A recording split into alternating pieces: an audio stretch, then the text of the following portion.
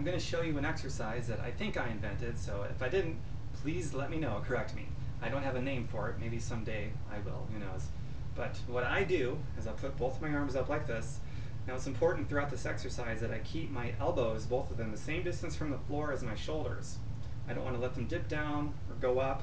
And my shoulders, I don't want them to shrug. I want to keep them down. Those are going to be natural tendencies of mine, so I got to fight to maintain that kind of good form. The exercise looks like this.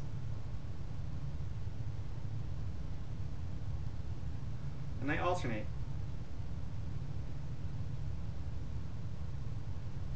And if I want to add more intensity, I just get deep into a squat with my feet spread apart like so, at a, at a comfortable distance.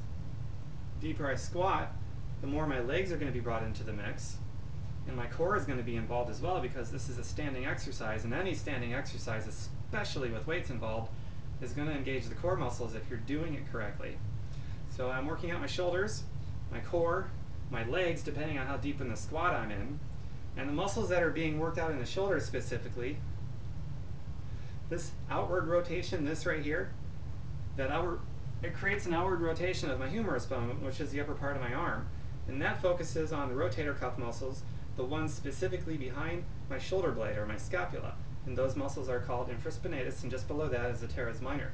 And there's not typically too much attention paid to those muscles by most people, and there should be, just like every other muscle. But uh, this exercise is specifically going to hit those muscles, and because your arms are out in front, like so, you're also focusing on the anterior head of the deltoid muscle. So that's three shoulder muscles being worked simultaneously with this exercise, as well as your legs, depending on how much you get into, into the squat, and as well as your core, because it's a standing exercise with weights involved.